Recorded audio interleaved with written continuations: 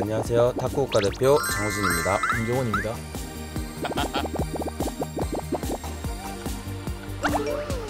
잘 맞았어? 저는 잘 맞았다고 생각해요. 저는 공격적이고 이런 빠른 성향의 선수여서 종훈이 같은 선수는 조금 안정적이면서도 되게 차분하고 서로 장점을 살려주면서 좀 경기를 많이 해서 자연스럽게 잘 흘러갔던 것 같아요.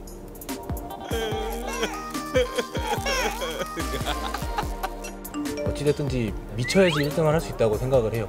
중국의 홈이지만 경기를 좀 더 즐기다 보면은 미쳐서 이길 수 있지 않을까라는 그런 생각이 드는 것 같아요.